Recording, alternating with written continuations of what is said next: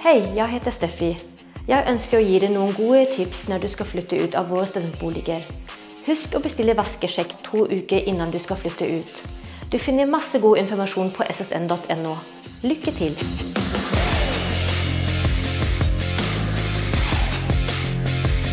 Dette er vaskemidler som vi anbefaler deg for å vaske din hybel. Spesielt anbefaler vi den Miracle Swamp, for den tar flekker på vegger, på dører, også kalk.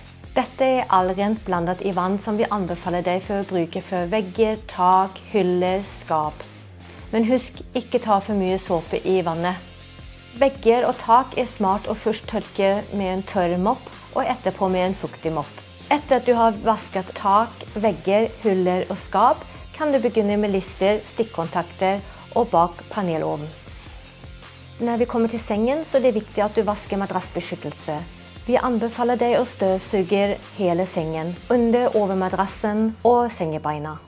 Ikke glem å dra fram sengen og støvsuge bak sengen og vask lister og gulvet. Tørk støv med en fuktig klut på hylle, pult og på skrivebordsstolen. Når du skal vaske vindu, så kan du bruke allrent blandet i vann. Du tørker over vinduet med en klut, etterpå så bruker du nal og tørker. Der det er forsvarlig, så kan du vaske vinduet på utsiden også.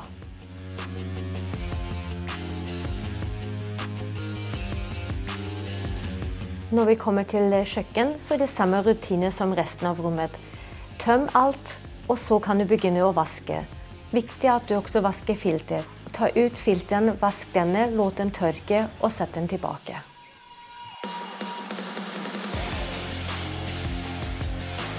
Vask komfyren grundig. Du kan bruke en skrape eller stålull med såpe i, som er lettest å bruke. Når vi kommer til stekeovn, varm ovnen til 50-70 grader. Slå av ovnen. Sprøy inn såpen også på stekebrettene. Låt det virke en time, så gjør såpen det meste av jobben for deg. Og da blir det mye lettere å vaske.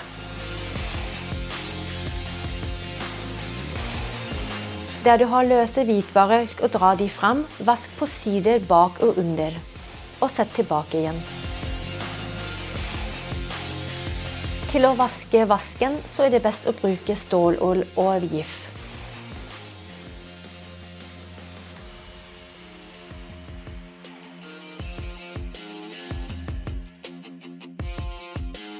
Når vi kommer til kjøleskapet, slå av den. Låt isen tine av i fryseboksen. Ta ut alle huller og skuffer og vask og tørk og sett tilbake. Vask også vegger og tak og sidene døren i kjøleskapet. Når vi kommer til badet, sprøy på med såpe. Bløtlegg hele dusjen, vegger, fliser, dører.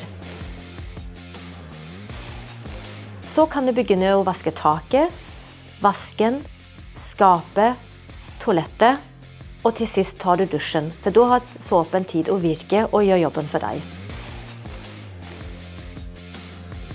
Husk å tørke alt. Det skal ikke være vannflekker på fliser, armaturer eller dusjdører.